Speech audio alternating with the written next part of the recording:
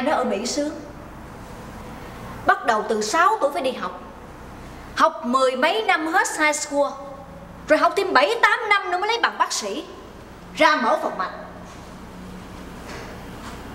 Ở đây đâu có di trùng, Không ai bệnh. Ê. Ai đó, vô đi.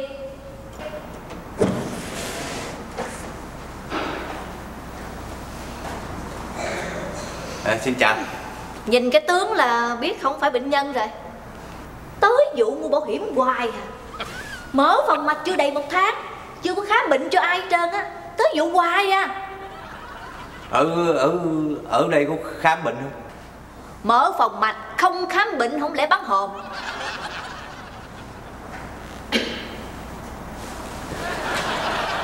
Ừ, đây là bán hòm hay phòng mạch? Phòng mạch Có khám bệnh được cho tôi không? Ủa? Anh là bệnh nhân hả? Khám chứ sao không khám? Khám yên tâm đi tôi bảo đảm với anh. Từ ngày tôi mở phòng mạch tới giờ đó hả? Tôi trị cho ai cũng chết hết. Hả? Hả? Ờ, không không không không không không. Cũng hết. Yên tâm đi. Ngồi xuống tôi khám cho anh. Ngồi xuống đi. Ừ, Không không. Trước khi khám làm ơn cho tôi hỏi thăm chuyện. Chuyện gì? Bác sĩ nói thiệt đi. Bác sĩ có bị uh, Bị gì? tẩn tẩn Là sao? Khùng? Anh điên? Là đúng rồi đó. Tôi điên. Anh tới đây làm cái gì? Khám bệnh. Bệnh gì? Bệnh điên. Điên thì làm ơn vô nhà thương điên nhà tôi đi. Ừ. Ở đây không có khám bệnh. Đi đi, đi. không, được. Nhà tôi điên tôi vô rồi. Tôi vô trong đó rồi. Người ta nói tôi điên quá không cho tôi ở trong đó. Thì tôi cũng đâu có điên đâu tôi nhận anh. Ôi, Tôi mong chữa tôi bác sĩ tôi, tôi lỡ tới đây rồi bác sĩ. Tôi nói là tôi không có khám cho anh mà đi vô nhà thương điên giùm tôi đi. Thì không khám tôi xu à? Anh su đi Bơ người ta tôi điên mà bác sĩ không khám cho tôi. Bơ người ta bơ làng sớm ơi. Tôi điên mà bác sĩ không có khám cho tôi nè. Làm cho tả đi. Ờ. La tới Tết á Cũng không ai nghe đâu. Phòng mạch của tôi có cách âm đàng hoàng. La đi. Cái phòng gì có cái đâm hả? Có cái đâm tôi la kiểu khác. Bác sĩ bác sĩ Phải cảnh sát được 911 không? Bơ Đừng có gọi. Anh ngồi xuống đi. Anh ngồi xuống đi. Anh muốn cái gì Anh nói đi. Muốn cái gì? Muốn bác sĩ khám bệnh cho tôi. Tôi phải khám làm sao? Hỏi thì tôi trả lời. Anh bệnh gì? Bệnh điên. Tại sao anh điên?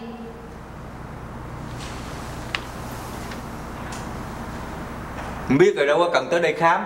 Thôi được rồi. Anh thấy tinh thần của anh như thế nào? Không bình thường.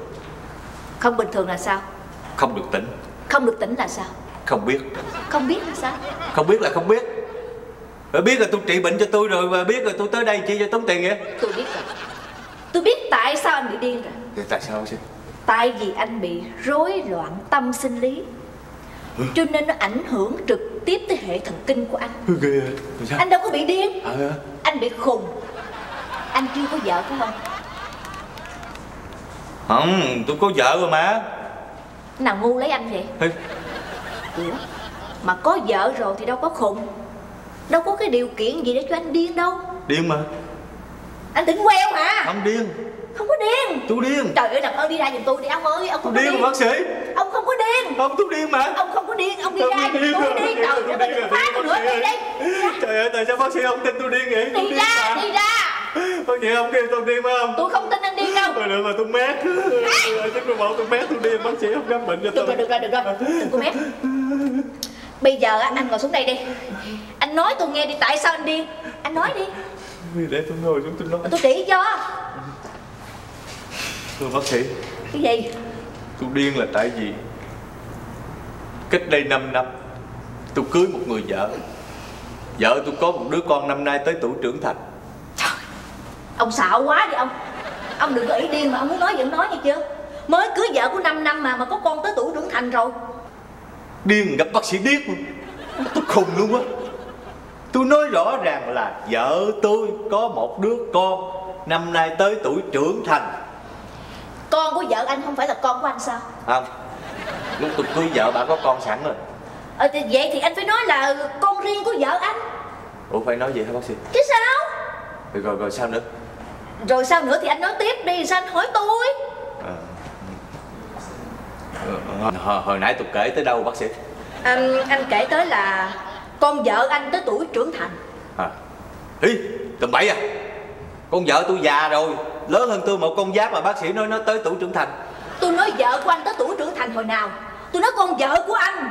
Đó Bác sĩ nói con vợ của tôi Không phải là con vợ của tôi hả? Trời ơi nói chuyện cái thằng cha này hồi tôi, tôi điên quá đi Tôi nói con vợ của anh á Là tôi nói là con của vợ anh Chứ vợ anh. Sao anh khó khăn quá vậy? Không hơi khó bác sĩ. Tại chuyện tôi khó hiểu lắm. Tôi phải nói cho nó rõ ràng vậy đó. Tôi sợ bác sĩ không hiểu. Sao không hiểu? Ủa tôi điên hả? Nói tiếp đi. Sao không nói làm thinh vậy?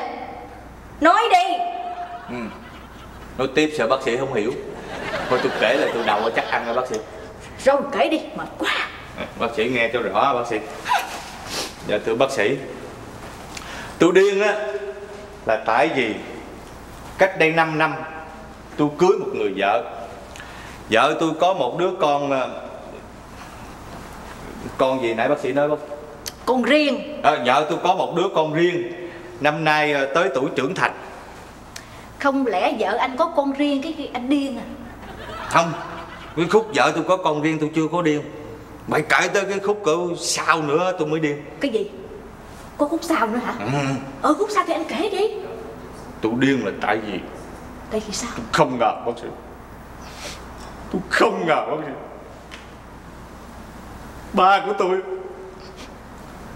Cưới nó làm vợ. Cái gì? Ba của anh cưới vợ của anh?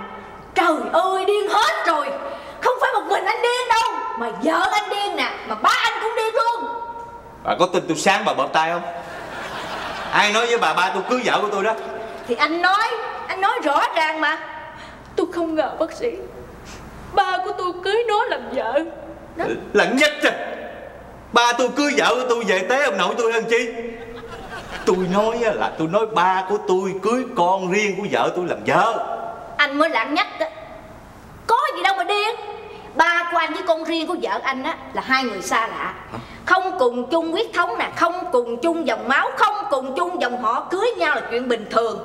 Có gì đâu anh phải điên. Thì vậy mà không điên. Có gì đâu điên. Lộn xộn xà ngâu hết chân Tôi đâu thấy gì đâu lộn xộn. Thì sao không lộn xộn? Đây là tôi nói bác sĩ nghe nghe. Kể từ khi mà ba tôi cưới con gái riêng của vợ tôi làm vợ đó Ừ. Thì vợ tôi đang là con dâu của ba tôi Thì tự nhiên nó trở thành má vợ của ba tôi. Rồi tôi đang là con của ba tôi Thì tôi trở thành ba vợ của ba tôi Đâu có sao đâu. Ai biểu cưới con gái của hai người Với nhiên phải kêu hai người là ba má rồi. Nhưng mà ba tôi không chịu. Sao không chịu? Ba tôi nói là con gái riêng của vợ tôi là vợ của ba tôi. Thành ra con gái riêng của vợ tôi phải là má ghẻ của tôi. Mà con gái riêng của vợ tôi là má ghẻ của tôi Thì con gái riêng của vợ tôi phải là má chồng của má ruột nó. Tại vì má ruột của nó là vợ của tôi. À, không? Chưa hết rồi bác sĩ, nó còn lộn xộn hơn nữa. Mới đây thôi nè. Mới đây thôi nè Là cái kêu bằng con gái riêng của vợ tôi đó. Tức là cũng là má ghẻ của tôi đó Mới đẻ ra thằng con trai. Thì cái thằng con trai đó phải là Anh em cùng cha khác mẹ với tôi không? Nó phải kêu tôi là anh Kêu vợ tôi là chị dâu đúng không? Ừ, Cũng đúng. Sao đúng được? Con vợ tôi nó không chịu không vậy Con vợ tôi mới nói là kêu bằng má của cái thằng nhỏ đó đó Là con của vợ tôi. Thành ra cái thằng nhỏ đó không được kêu vợ tôi bằng chị dâu Mà nó phải kêu vợ tôi bằng bà ngoại Kêu tôi bằng ông ngoại mới đúng chứ. Còn chưa hết nữa đâu bác sĩ. Còn nữa hả? Rồi cái tiếp theo là hai vợ chồng tôi là mới đẻ ra một thằng con. Thì cái con của tôi đó phải kêu ba của tôi là ông nội không? Phải không? Ờ, Nhưng mà tôi kêu nó kêu bằng ông nội nó không chịu. Nói sao nó cũng không chịu hết trơn á. Nó nói cái ông mà tôi kêu nó kêu bằng ông nội đó Là chồng của chị nó. Thấy không? Thành ra nó kêu ông nội của nó bằng anh rể cho thân mật. Nói chuyện cái bác sĩ còn nó lộn xộn xà ngầu Nó còn bắt cái thằng con của ba tôi đó. Tức là cái thằng uh, em cùng cha khác mẹ của với tôi Mà cũng là cái thằng cháu ngoại của tôi đó. Nó bắt cái thằng đó nó kêu nó bằng cậu. Tại vì nó nói là là là má của thằng đó là là là là là, là chị của thằng này. Đó. nhưng mà thằng con ba tôi nó không chịu bác sĩ nó không chịu kêu vậy bác sĩ. Nó bắt cái thằng này phải kêu nó lại bằng chú. Là tại vì nó nó là em của ba thằng này. Thôi Đó, thôi đi anh ơi Trời đất ơi. Cái gia phả của anh nó lộn xộn hết trơn à Anh nói thì tôi không có hiểu được cái gì hết trơn á. Anh làm ơn anh đi về Mà- tôi tôi bác ơi, anh mà anh đi tôi không về dám đi. về nhà đâu bác sĩ ơi tôi về nhà lộn xộn mà tôi không biết tôi là ai nữa bác sĩ. Bây giờ cái gia đình của anh nó rối nùi à tôi không thể nào mà tôi chữa bệnh cho anh được bác sĩ hết. ơi làm ơn bình tĩnh lại bác sĩ tôi không chữa tôi bác sĩ. tôi không hiểu đi tôi chữa. Bác sĩ không hiểu hả? Tôi không hiểu. Không sao bác sĩ. Không có sao không hiểu không sao. Bây giờ nha tôi kể lại một lần nữa cho bác sĩ nghe. Ôi trời đất ơi thôi ông ơi đừng có kể. Tôi lại ông mà tôi đi về tôi bác sĩ à bác sĩ làm ơn kể về, kể về, bác sĩ là nghe tôi kể mà bác sĩ bình tĩnh bác sĩ bác sĩ đừng có lên cơn mà. trời ơi đừng có điên. Tôi nói yên. Bình tĩnh lại. Bình tĩnh lại nghe tôi kể rõ ràng rồi bắt đầu kêu bằng trị bệnh cho tôi trời ơi khổ quá mà bác sĩ làm ơn trị bệnh cho tôi bác sĩ yên. Nha đừng nói tiếng nào hết trơn nha. Bình tĩnh nha tập trung tinh thần nha bác sĩ ngồi đi bác sĩ ngồi đi. Ngồi đi tôi kể lại một lần nữa cho bác sĩ nghe. Bác sĩ ngồi đây nghe. Ngồi chắc ở đây nghe tôi kể lại một lần nữa bác sĩ nghe nghe. Đừng có suy nghĩ hết nghe. Suy nghĩ câu chuyện của tôi thôi nghe. Cách đây 5 năm. Hiểu không? 5 năm. Một hai ba bốn năm năm. Năm năm hiểu không? Tôi cưới vợ. Cưới vợ hiểu không? Không. Trời ơi cưới vợ mà cũng không hiểu nữa bình tĩnh bình tĩnh bình tĩnh. Đừng đừng đừng đừng đừng đừng đừng lên bình tĩnh nha. Bình tĩnh nha. Tôi nè tôi nè hiểu không? Tôi. Tôi là tôi. Không phải tôi là tôi nè. Hiểu không? Tôi là ông hả? Trời ơi tôi mà cũng không hiểu. Trời ơi. Được rồi, được rồi, được rồi, tôi có cách rồi Bây giờ bác sĩ bình tĩnh nha. Bình tĩnh nghe nha. Nghe cho rõ nha. Bây giờ tôi thí dụ cho dễ hiểu nha. Bây giờ cách đây 5 năm Tôi á là cái tách. Tôi là cái tách. Tôi là cái tách. À, Cách đây 5 năm Cái tách này Mới cưới cái cuộn băng keo này làm vợ Ha? Ừ. Cái tách này cưới cuộn băng keo làm vợ mà cái cuộn băng keo này á có sẵn một đứa con là là là là, là cái phone này. Cái Đó. cái, phone. Cái tách ừ. cưới cái cuộn băng keo. Cuộn băng keo có đẻ sẵn một cái phone. Ừ. Đó. Thì đây là cái gia đình tôi. Bây giờ ba tôi. Ờ, ba tôi ba tôi là cái sọ người này nè. Đó, ba tôi là cái sọ này nè. Ba ông đó hả? À, ba tôi là cái sọ. Thì ba tôi á mới cưới cái phone này làm vợ. Ha? Cái phone này mới cưới cái cưới cái, cái này làm chồng. Đó. Thì bây giờ đó thì cái cái đầu sọ này á phải kêu cái uh, cuộn băng keo là má vợ kêu cái tách là ba vợ. Ha nhưng mà cái cái cái đầu sọ này không chịu. Cái đầu sọ này nói cái phone nó là vợ của cái đầu sọ này thành ra cái phone này nó nó trở thành là, là má ghẻ của cái tách. Cái phone này nó trở thành là là là má chồng của của của của của cái cuộn băng keo. Đó rồi cái cái cái phone với cái đầu sọ này mới đẻ ra mới đẻ ra cái đồng hồ. Hả? cái phone này nó mới đẻ ra cái đồng hồ rồi cái cái tách với lại cái cái cái cái cái cuộn băng keo này mới đẻ ra cái bàn. Cái gì? Hả? cái, cái, cái tách với cục băng keo đẻ được cái bàn sao? Ờ cái tách với cái cuộn băng keo này đẻ ra cái bàn. Cái bàn á nó nó, nó tức lắm. Nó nó kêu cái đồng hồ này nè phải kêu nó bằng cậu.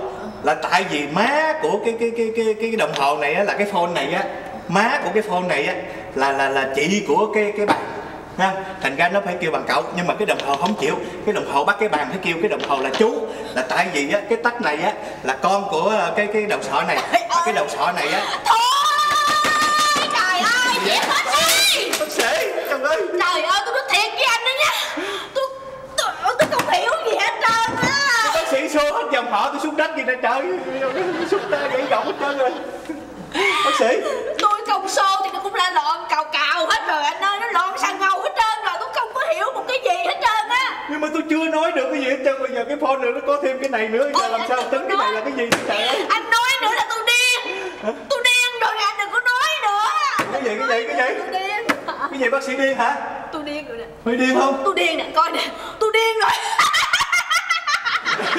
Nhiên điên rồi trời. Điên điên thiệt hả? Tôi điên thiệt hả đi. Trời ơi, mất thời giờ không Mình thấy ta năn nỉ ta hỏi em có điên không mà không chịu, cãi à điên khùng gì đâu, không, bác sĩ. Điên gì muốn biết ai cho mở phòng mạch. Ta điên mà ta làm cho tỉnh lên, ta đi làm ăn kiếm tiền mà kìa bác sĩ điên thì mất thời giờ quá trời quá đó nãy nói điên không chịu điên đi. Thiệt tình là bất mình ghê.